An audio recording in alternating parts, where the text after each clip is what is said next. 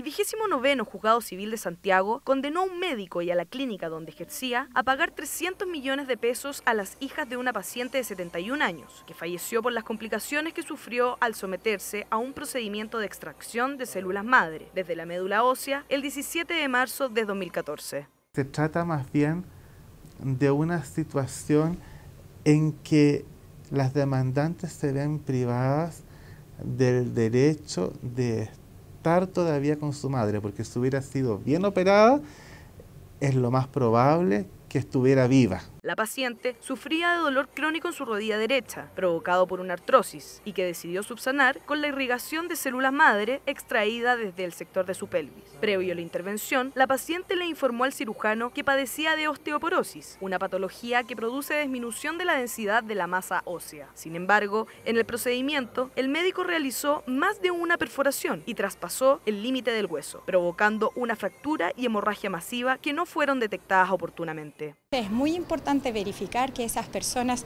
estén... Em, que estén saludables, ¿cierto? que tengan una condición que les permita soportar el procedimiento de procuración, que no es eh, demasiado complejo, no es como sacar un riñón, ¿cierto?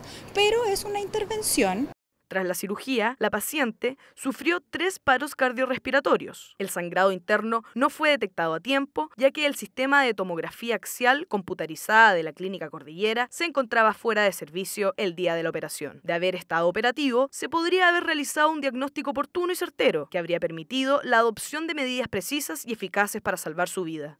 Hubo un problema en el no acatamiento de la lex artis, que es una palabra técnica que se refiere o, quiere decir que no se cumplió con los procedimientos médicos adecuados al diagnóstico y al tratamiento que era necesario.